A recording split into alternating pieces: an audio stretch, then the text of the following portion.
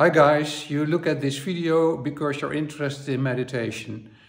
Most meditation teachers and yoga teachers in the West have no clue about how to analyze if the pupil is really entering in meditation or is just sitting with eyes closed and internally uh, counting the time or preparing uh, a shopping list or whatever associations rise.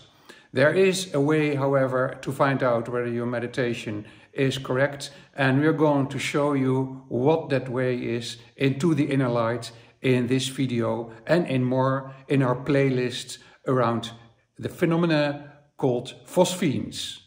I'm quite interested to hear from you what you think. Okay, so here we go. About light tunnels and more strange light phenomena with your eyes closed. We will follow up on some videos we already made.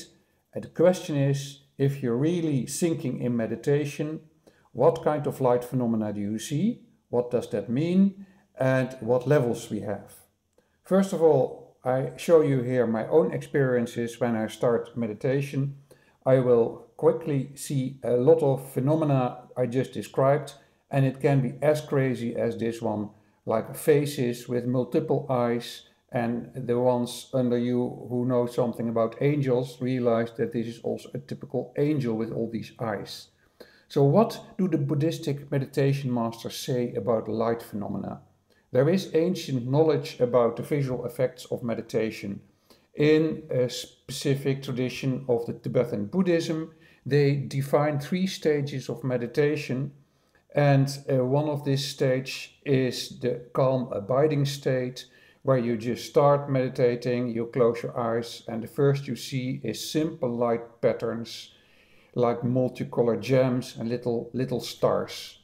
Then, if you uh, sink deeper in the meditation, insights start to develop, and you're going to see uh, intrinsic patterns of fractals, mosaics, kaleidoscopic uh, uh lights, yantras, and mandalas. And in the highest realization, of the meditation, you can see figures of Christ, bodhisattvas, Buddhas, and all. So let's start with the initial phase. You close your eyes, you sit, you just look and watch, and you see little blobs of light, white lights or colored lights. They change quite quickly. There can be just a few, there can be a lot of more, and they can cluster into round shapes and if they start clustering into round shapes, you might also see networks of slightly blue uh, grids.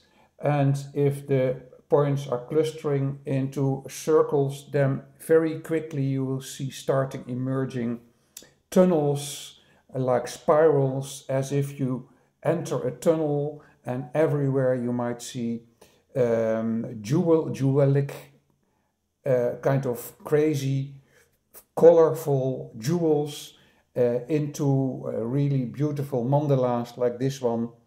And this all morphs, this all um, changes in shape and color, sometimes so quickly that you have no clue.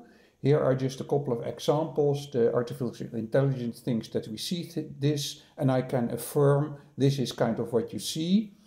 Um, and then in the last stage, you might see light colored bodhisattvas or tantric gods or Jesus Christ or a light being from afar or an angelic figure with wings.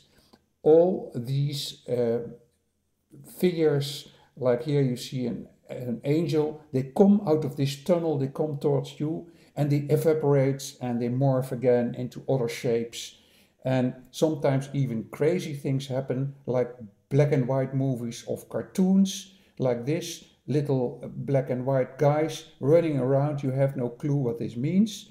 Here are the six types you can see. The four first types are classical types, light phenomena, yantras and mandalas, deities, figures. And in the highest level, you see whole landscapes, landscapes with flowers, and, and, and really beautiful paradises, but you can all see, also see cartoons and very, very strange phenomena.